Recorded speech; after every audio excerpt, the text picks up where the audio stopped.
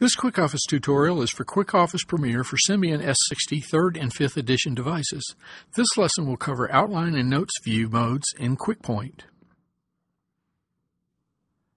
When you open a presentation in QuickPoint, you will see three tabs at the top of the presentation. These tabs will allow you to switch between Slides, Outline, and Notes views. You can use your left and right scroll keys to switch between the different views, or on touchscreen devices, tap the right arrow above the slide to switch to outline view. You can then tap the left and right arrows to move back and forth between views. To switch slides or go to a specific slide in your presentation while you're in any one of the three view modes, choose Options, Go to Slide, and then Next Slide, Previous Slide, or Slide Number.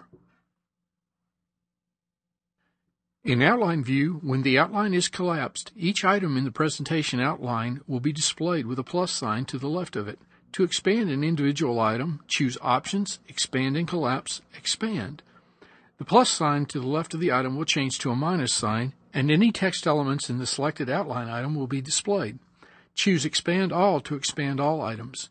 Once you've expanded items, you may collapse them by selecting Options, Expand and Collapse, Collapse, or Collapse All.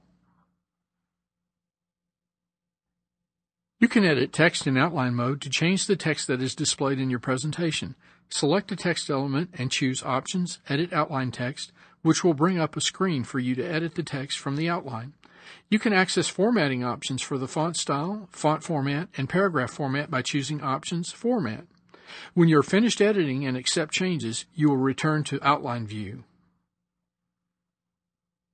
Please note that Outline View does not display text within graphics. To view the text within graphics, use Slide View. Notes View displays the speaker notes from each slide. To edit notes, select Options, Edit Notes Text. Once you have finished editing your notes, accept your changes. Now that you know how to switch between and use the different view modes in QuickPoint, please visit www.quickoffice.com for additional tutorials that will teach you more about using QuickOffice as your office away from the office.